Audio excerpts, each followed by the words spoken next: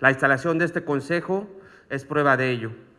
Mediante este organismo, la Secretaría de Turismo y Cultura tendrá mayor cercanía e impacto en las actividades locales. Buscamos el desarrollo integral a través de la unión de esfuerzos. En medio de la pandemia que aún vivimos, buscamos espacios y soluciones que no es fácil, pero no hay imposibles.